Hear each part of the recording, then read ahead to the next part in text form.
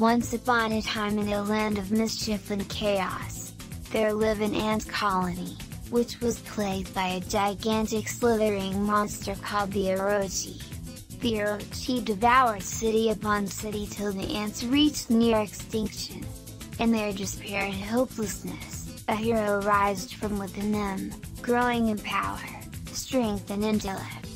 The hero defeated the slithering monster and he was crowned, the Snake King.